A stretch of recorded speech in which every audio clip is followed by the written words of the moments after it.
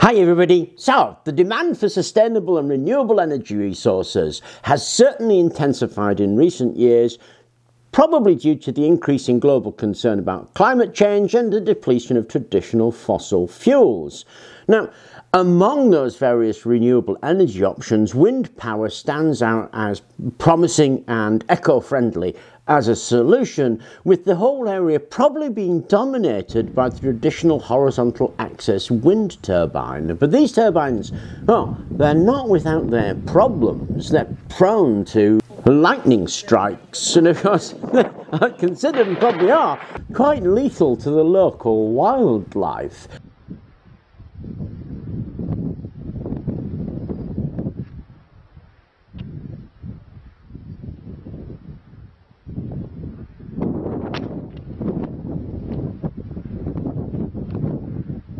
If they're not built properly, they have a terrible propensity to fall down because they only really work if you stick them up there in the air. If they overrun, that is, get too fast, the consequences can be catastrophic.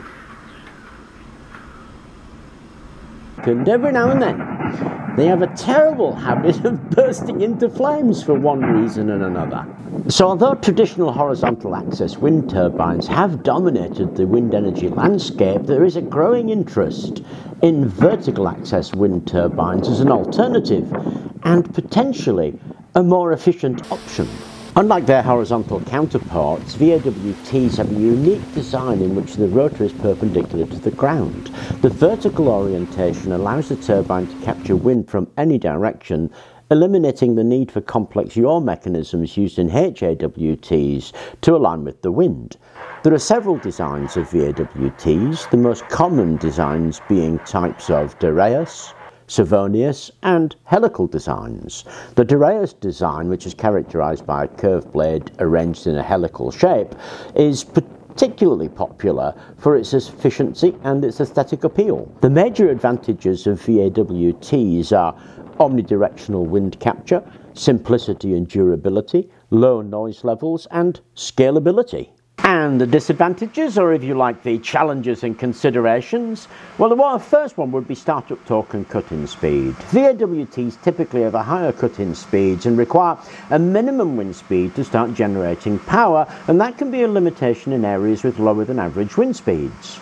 The second one is efficiency at low wind speeds. While VAWTs are brilliant at capturing wind from various directions, their efficiency at low wind speed is generally lower when compared to HAWTs. And the final one are the aesthetics and the public perception.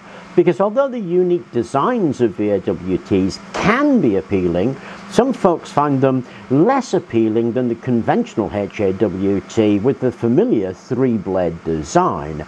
Public perception and aesthetics can seriously impact on the widespread acceptance of new technology like VAWTs. But generally, VAWTs are a promising avenue for harnessing wind energy with distinct advantages. However, more work is required. In the quest for more efficient and sustainable energy solutions, researchers and engineers are increasingly turning to nature for inspiration. Biomimicry is the practice of imitating biological systems and processes to solve human problems, and that's led to innovative designs across a whole range of industries, the notable example being the integration of whale tubercles into wind turbine design. Whale tubercles are small rounded protrusions found on the leading edge of humpback whale flippers. And these tubercles are not merely pretty, they serve a critical purpose in optimizing the whale's hydrodynamic performance. Researchers revealed that these bumps alter the flow of water over the flipper, reducing drag and increasing lift. And this, of course, makes it a natural adaptation. And that's captured the imaginations of science and engineers seeking to enhance the efficiency of man-made structures particularly wind turbines. So in order to look at all of that in a practical way, what I've done is I've created this. This is the blade for a VAWT that we're going to put together. That one is without tubercles and that one is with tubercles. Now it's a very simple design, it's just three blades and you'll find this in Thingiverse, the link is in the description below if you want the files. But there are three blades without tubercles and we're going to arrange them into a VAWT and to do that we've got these two bots, tops and bottoms and they've got holes in them 120 degrees and a central hole and then you should have eight of these and one of these. Six of these just get jammed into those holes. You can glue them in with cyano cyanoacrylic glue and we do that with the top and the bottom and then once we've done that we stick those into the blades making sure that the leading edge is all the same direction. When you've done that, that's what you'll get. Now you'll have two more at the same length. One goes in from the top, one goes in from the bottom. Leaving a little bit stuck out. Then you'll have two of these, they go onto there and we do exactly the same with that one. When you've got that far, you'll find a shorter one. This is, these are 100 millimeters long, this is 75 millimeters long, and it goes directly in the middle like that. And of course what we need is a couple of couplers. So you slide a coupler on there,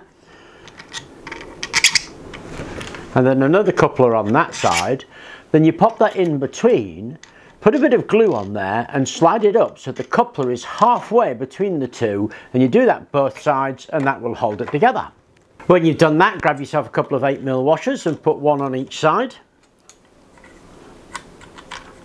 And then a bearing on each side. These are skater bearings, so they're 22mm by 8mm by 7mm thick, and they go on either side like that and then we're ready to put that into the cradle. To make the cradle to hold this, there's a cradle base and there are two uprights, a bit of acrylic glue and stick those in there and then we'll be able to stick them together and that'll make the cradle.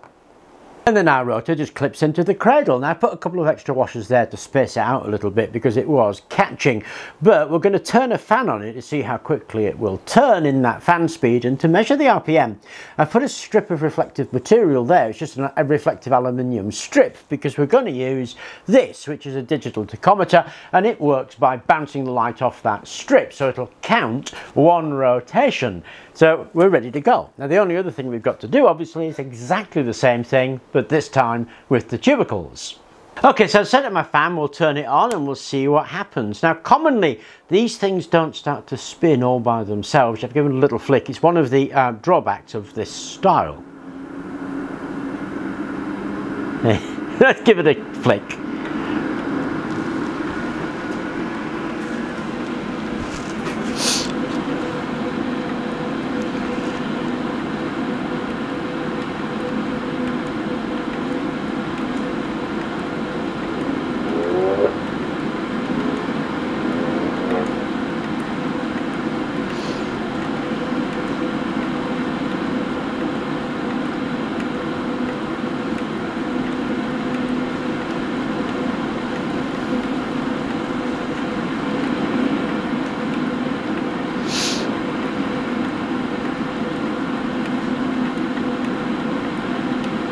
We're getting about 100 RPM. And here's my tubercle version all put together. And we've got the same metallic strip there. We're going to clip it in the cradle and see what happens.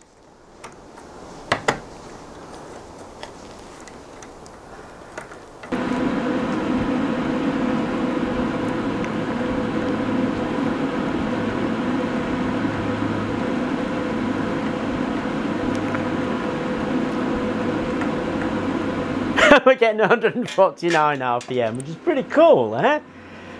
So research is showing that integrating these tubercles into VAWT has four serious advantages. The first thing is it uh, increases efficiency at low wind speed, which is of course one of the banes of VAWTs.